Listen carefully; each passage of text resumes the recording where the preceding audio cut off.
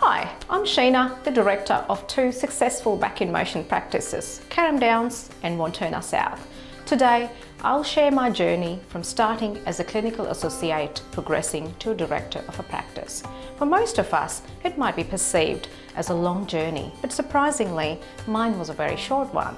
I joined Back in Motion Health Group on 23rd of August 2010 and became a director on 1st of Feb 2011 so, interestingly, I was a director before I completed my probation as a clinical associate. I'm glad that my director at that time believed in me and my capabilities. In fact, he identified the strengths in me. The support I received from our National Support Office was paramount, right from the day one of my journey.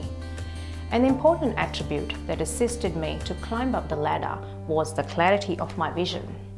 I am and always have been an ambitious person. What gave me strength in my beings is the determination and self-confidence that I am ready to take the leap.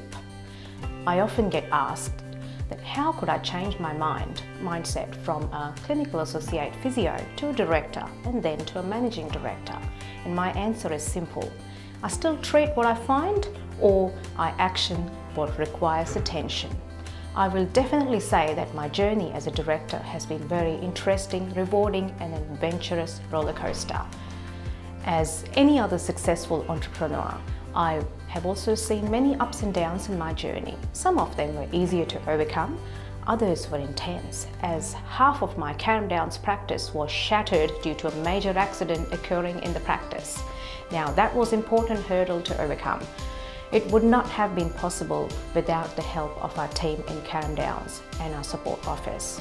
That was the time when our entire team felt grateful to be a part of Back in Motion Health Group. My fellow directors and the support office staff were a huge asset.